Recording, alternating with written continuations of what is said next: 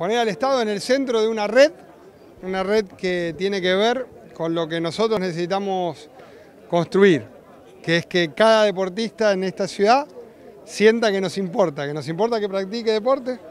que nos importa que esté en el club y que nos importa también que cuando tiene condiciones pueda ascender en su rendimiento deportivo, hacia un mediano o un alto nivel del deporte. Entonces,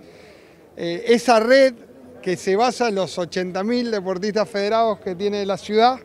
pero que sobre todo se basa también en la idea de darle una oportunidad distinta a cada pibe y piba en Rosario, con 340 clubes, con las 57 federaciones, con las instalaciones deportivas